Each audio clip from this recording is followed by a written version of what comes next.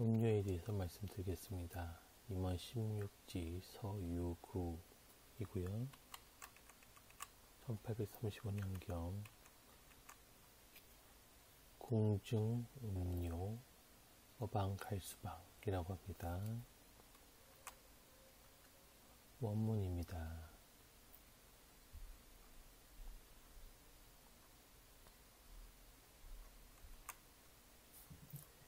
번역문입니다.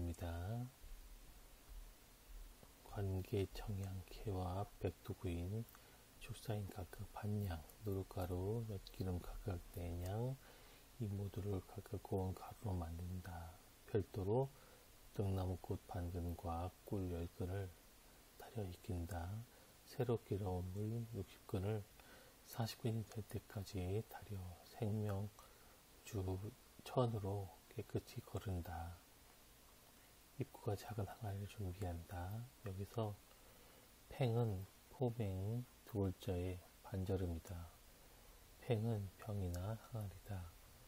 생명주 자루에 앞서 일곱 가지 가루 재료를 담아 항아리 속에 넣고 다시 달여낸 새로 길러온 물 40근과 달인 끌, 달인 꿀 10근을 붓고 항아리 입구를 단단히 보관한다.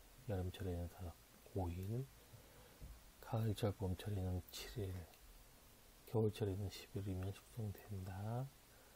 항아리를 놓을 때 봄, 가을에는 따스한 곳에 두고 겨울철에는 더운 곳에 두고 여름철에는 차가운 곳에 두고 마신다. 거가필용 되어 있고요. 조리법입니다. 1번부터 7단계까지 되어 있고요.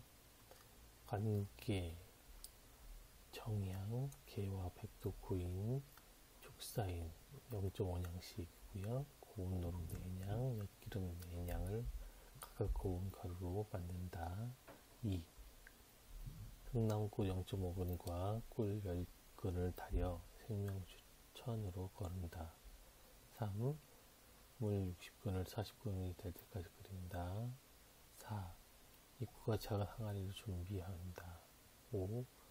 명주자루에 1의 7가지 가루를 항아리 속에 넣고 끓인 물 40분과 달인 고 10근을 붓고 항아리 입구를 봉한다. 6. 여름철은 5일, 가을 봄철은 7일, 겨울철은 10일이면 숙성된다. 7.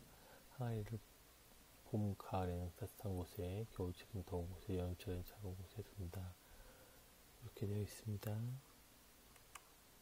영주천 입구가 작은 항아리가 필요합니다.